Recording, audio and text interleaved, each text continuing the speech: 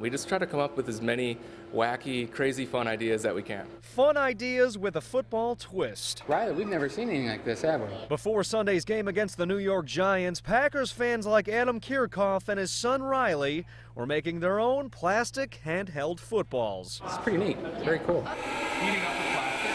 With a heated vacuum, three dimensional mold. I'm very happy to see that the Packers are in full force here at Discovery World. This is uh, fantastic. At the Design Lab, we're all about innovation and coming up with creative new ideas that uh, we think could be fun for the public and just really kind of teach us some elements of design. Besides the football design, Tom Joy and the Discovery World staff introduced new ideas at the Kohl's Design It Lab that keeps up with the Packers theme. One is seeing the world through the eyes of a player with these custom fit glasses where you bend and mold them for yourself. And the man, Aaron Rodgers. I haven't seen him that close. Usually it's the helmet and that's it. But even if you're not a professional athlete like Aaron Rodgers, you can have your own bobblehead.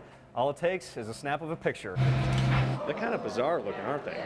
They are. I think I'd rather have a bobblehead of somebody else, to be honest, but maybe someone else in my family will have fun with it. Rebecca Coulter and her niece Lindsay were crafting their own life size bobbleheads along with some custom football necklaces. I think it's better than buying and spending money. You could just make it. I'm ready for football tomorrow for the Packers, so I'll wear my bobblehead maybe. Brett Pagansky, Fox 6 News.